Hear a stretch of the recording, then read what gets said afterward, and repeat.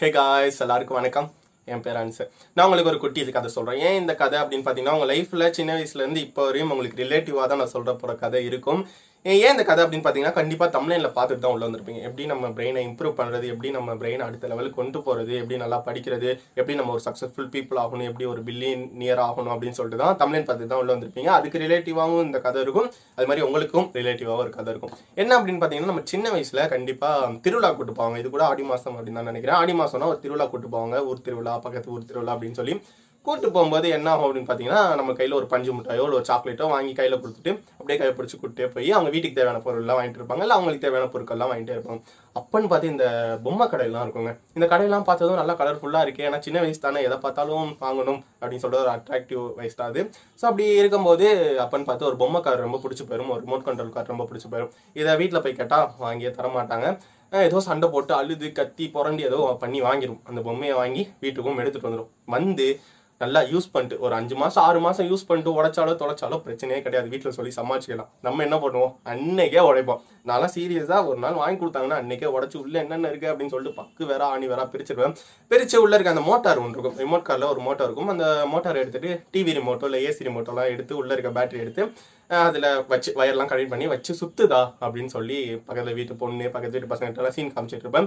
அப்போ எனக்கு என்ன தோணும் அப்படின்னு பார்த்தீங்கன்னா இந்த மாதிரி கார் மேனுஃபேக்சர் பண்ணும் நம்மளுக்கு இவ்வளோ விஷயம் தெரியுது கார் மேனுஃபேக்சர் பண்ணும் இந்த மோட்டார் விஷயமா ஏதாவது அப்ளை பண்ணி நம்ம சக்ஸஸ்ஃபுல்லாக ஆகணும் அப்படின்னு தோணும். அந்த டைமில் பார்த்தீங்கன்னா நம்ம சித்தப்பாவோ யாராவது பெரியப்பாவோ யாராவது என்ன சொல்லுவாங்கன்னா இவன் பாரு உள்ள இருக்க பொருளை எப்படி அக்கு வேற ஆணி வேற பிரிச்சு பார்க்குறான் இவனுக்கு பெரிய ஒரு பேக்ரவுண்ட் இருக்கு பெரிய ஒரு நாலேஜ் இருக்கு அப்படின்லாம் சொல்லி உசி பேத்தி விட்டுருவாங்க. அந்த ஒரு சேனல்லே சுற்றிட்டு இருப்போம். அடுத்து கொஞ்ச நாள்லேயே பார்த்தீங்கன்னா டிவியில் சக்திமானோ இல்லை சூப்பர்மேன் இல்லை ஏதாவது ஒரு ஹீரோ நம்மளுக்கு பிடிச்ச ஹீரோ வந்துட்டு ஒரு நல்ல ஜானர் பண்ணியிருப்பாங்க ஒரு நல்லது பண்ணியிருப்பாங்க ஒரு சயின்டிஸ்டாக இருப்பாங்க. அதை பார்த்துட்டு வந்து என்ன தோணும்னா நம்ம அவங்கள மாதிரி ஆகணும். ஒரு நல்ல சயின்டிஸ்ட் ஆகணும் நம்ம ஒரு சக்திமான ஆகணும் நம்ம ஒரு சூப்பர்மேன் ஆகணும்னு தோணும். அடுத்து கொஞ்ச நாள் கழிச்சு பார்த்தீங்கன்னா ஒரு ஃப்ரைட் ரைஸ் கடைக்கு கூட்டு போறாங்கன்னு வச்சுக்கோங்களேன். ஒரு ஃபாஸ்ட் ஃபுட் கடைக்கு கூட்டு போகிறாங்கன்னா அவங்க அந்த ஃப்ரைட் ரைஸ் போடுறத பார்த்து நம்மளும் ஃப்ரைட் ரைஸ் போட்டு நிறையா சாப்பிடலாம் அப்படிலாம் தோணும். ஸோ ஏன் நம்ம சின்ன வயசுல அவ்வளோ நினைச்சோம் ஏன் அதெல்லாம் பண்ண முடியல? அப்படின்னு சொல்லிட்டு எனக்கு அது யோசிச்சிருக்கீங்களா? நம்ம சின்ன வயசுல எவ்வளவோ கனவுகள் கண்டிருப்போம். எவ்வளவோ இந்த மாதிரி தான் ஆகணும் அப்படின்னு சொல்லிட்டு கனவு கண்டிருப்போம். அதுல ஒன்று கூட இப்போ சத்தியமா ஆயிருக்க மாட்டோம். ரொம்ப குரு மெம்பர்ஸ் மட்டும்தான் அப்படி ஆயிருப்பாங்க. நீங்கள் இப்போ ஒரு நூறு பேர் பார்த்துக்கிட்டீங்கன்னா அதில் ஒரு ஆள் மட்டும்தான். அதுவே ரொம்ப கஷ்டம். ஸோ அவங்க மட்டும்தான் ஆயிருக்காங்க ஏன் நம்ம மட்டும் நம்மளால் ஆக முடியல? பில்லியன் இயர்ஸ் இப்போ இருக்க சக்ஸஸ்ஃபுல் பீப்புள்ஸ்லாம் பார்த்தீங்கன்னா அவங்க சின்ன வயசில் நினச்சது தான் இப்போ அச்சீவ் பண்ணியிருக்காங்க அவங்க மட்டும் ஏன் அச்சீவ் பண்ணாங்க நம்ம மேலே ஏன் அச்சீவ் பண்ண முடியலன்னா நம்ம மைண்ட் தான் காரணம். நம்ம பிரெயின் தான் காரணம். நம்ம பிரெயினை சரியான வேலை கொண்டு போகல அப்படிங்கிறதான் காரணம். ஏன் அப்போ அவங்களுக்கும் இருக்க பிரெயினும் எனக்கு இருக்க பிரெயினும் ஒன்று தானப்பா அப்படின்னு கேட்டிங்கன்னா அவங்க பண்ண மெத்தட் வேற நம்ம பண்ணுற மெத்தட் வேற. அதான் நார்மல் பீப்புள்ஸ்க்கும் சக்ஸஸ்ஃபுல் பீப்புள்ஸ்க்கும் இருக்க டிஃப்ரென்ஸ் சரிப்பா இவ்வளோ டிஃப்ரெண்ட் சொல்கிறேன் இது என்னதான் கதை? எனக்கு சத்தியமாக புரியவே இல்லை. நீ கொஞ்சம் புரியுற மாதிரி அப்படி சொல்லு அப்படின்னு கேட்டிங்கன்னா என்ன தெரியுமா? நம்ம பிரெயின் மொத்தம் ரெண்டு டைப்புங்க ஒன்று லெஃப்ட் பிரெயின் ஒன்று ரைட் பிரெயின் லெஃப்ட் பிரெயின் என்ன சொல்லுவாங்கன்னா கான்சியஸ் மைண்ட்னு சொல்லுவாங்க. ரைட் பிரெயின் என்ன சொல்லுவாங்கன்னா சப்கான்சியஸ் பிரெயின் அப்படின்னு சொல்லுவாங்க.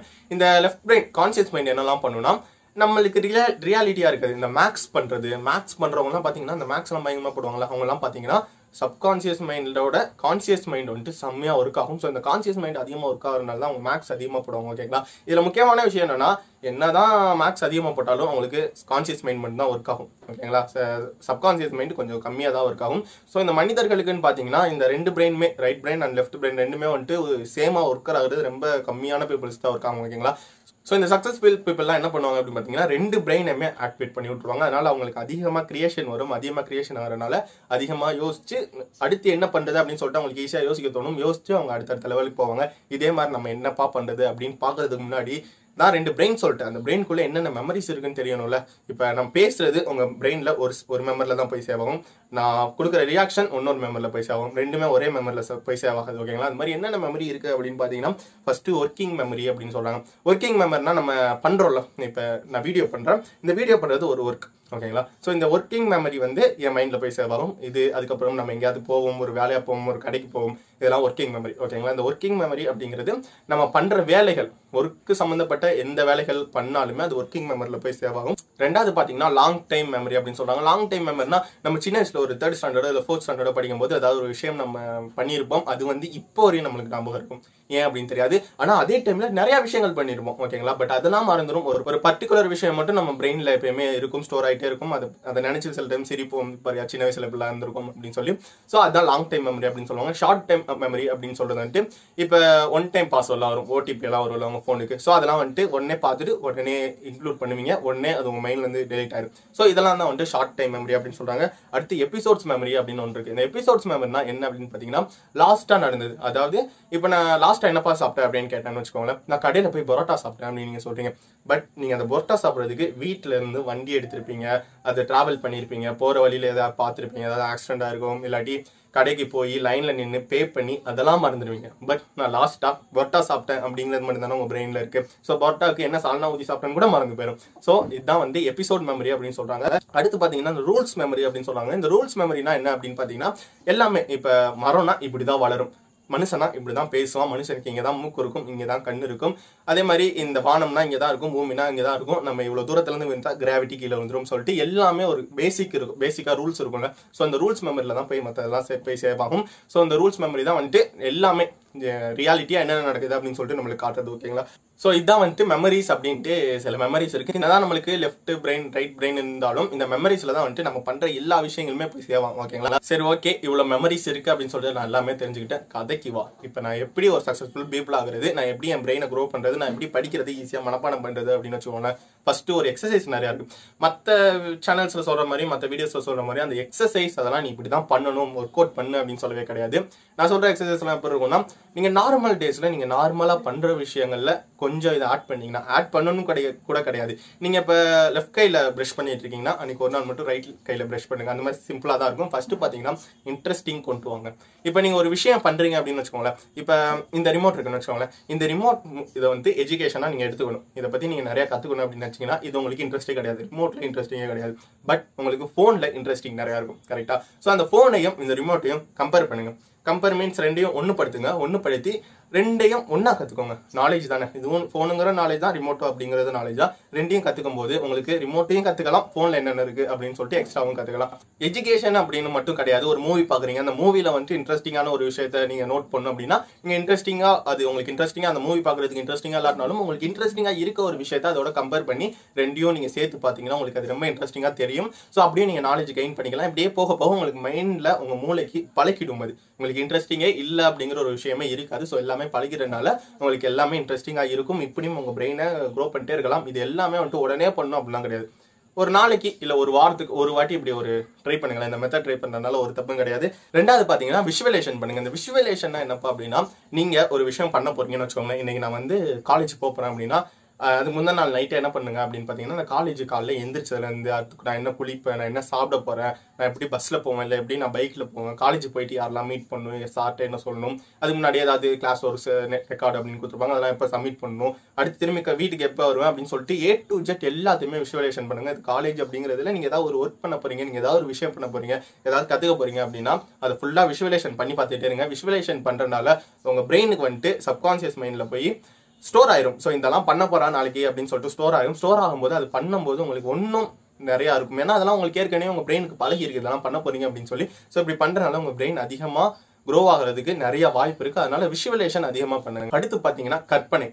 கற்பனை அப்படிக்கும் விஷுவலேஷனும் கற்பனையும் ஒன்று தானப்பா இப்போ கற்பனை பண்ணாதானே விஷுவலேஷனே வரும் அப்படின்னு கேட்டிங்கன்னா விஷுவலேஷன் அப்படிங்கிறது நீங்க நடக்க போற ஒரு விஷயத்தை விஷுவலைட் பண்ண போறீங்க. கற்பனை அப்படிங்கிறது நடக்க போகாதது இல்ல நடக்கவே முடியாத விஷயத்தை நீங்க கற்பனை பண்ணும்போது அதால நிறைய ஐடியாஸ் உங்களுக்கு வந்துட்டே இருக்கும். இப்போ வந்து நான் ஸ்பேஸ்ல ஒரு ஏலியனை பார்த்தேன் அப்படின்னு சொல்லிட்டு கற்பனை பண்ணீங்கன்னா உங்களால இப்ப ஸ்பேஸுக்கு போக முடியாது ஏலியனையும் பார்க்க முடியாது. பட் கொஞ்சம் வருஷம் கழிச்சு. இல்லாட்டி இந்த ஏலியன் மூலியமாவோ இல்லை இந்த கற்பனை மூலியமாவோ வேற எதுக்காவது ஐடியாஸ் உங்களுக்கு வந்துட்டே இருக்கும். இப்போ ஏலியன் அப்படின்னு சொல்றேன்னு வச்சுக்கோங்களேன் அது மூலியமா இப்போ நீங்க யூடியூபே வச்சிருக்கீங்கன்னா அதை வச்சு ஒரு ஸ்கிரிப்ட் எழுத எழுத ஆரம்பிங்க ஸோ அந்த மாதிரி கற்பனை நிறையா உங்களால முடியாத அளவுக்கெல்லாம் பண்ணுங்க அப்படின்னு சொல்றேன். நான் முன்னாடி சொன்ன மாதிரி இந்த சப்கான்சியஸ் மெமரி வந்துட்டு கற்பனை பண்றதுக்கு அதிகமா பயன்படுங்க அதனால இந்த சப்கான்சியஸ் மைண்டை நீங்க ஓவராலா தூண்டி விட்டீங்கன்னு வச்சுக்கோங்களேன் சீரியஸா நீங்க ஒரு நல்ல லெவலுக்கு போயிடலாம். உங்களுக்கு இன்னொரு முக்கியமான விஷயம் சொல்றேன். நீங்க காலையில இருந்து நைட்டு தூங்குற வரைக்கும் உங்க கான்சியஸ் மைண்ட் சொல்றதுதான் நீங்க நினைச்சிட்டு இருப்பீங்கன்னு நினைக்கிறீங்க பட் சப்கான்சியஸ் மைண்ட் சொல்றதா நீங்க நினைச்சிட்டு இருக்கீங்க காலிலிருந்து நைட் வரையும் உங்க சப்கான்சியஸ் மைண்ட் சொல்ற தொண்ணூத்தஞ்சு சதவீதம் நீங்க செஞ்சுட்டு இருக்கீங்க கான்சியஸ் மைண்ட் சொல்றத வெறும் அஞ்சு பர்சன்ட் தான் செய்றீங்க. அதனால உங்களுக்கே தெரியாம சப்கான்சியஸ் மைண்ட் உங்களுக்குள்ள ஓடிக்கிட்டே தான் இருக்கு. பட் ரெண்டு இதையும் இதையும் ஃபிஃப்டி இதையும் ஃபிஃப்டியா ஆக்கிட்டீங்கன்னா ஓரளவு நாலேஜ் கெயின் பண்றதுக்கும் உங்க பிரெயின் அடுத்த லெவல் போறதுக்கும் ரொம்ப ஹெல்ப்ஃபுல்லா இருக்கும். நெக்ஸ்ட் பாத்தீங்கன்னா ரீகால் பண்ணுங்கள் எல்லாத்தையுமே ரீகால் பண்ணுங்க. இப்போ ஒரு விஷயம் பண்ண ஒரு விஷயம் படித்தேன் அப்படின்னா இப்போ நான் முன்னாடி சொன்ன மாதிரி இந்த ரிமோட்டை படிச்சு நான் படித்தேன் அதுக்கு நான் ஃபோனை ஒரு எக்ஸாம்பிளாக எடுத்துக்கிட்டேன். அதனால் எனக்கு இன்ட்ரெஸ்டிங் ஆயிடுச்சு அப்படின்னா இதை இப்போ நீங்கள் படித்ததுக்கப்புறம் அதை அப்படியே விட்டுறாதீங்க.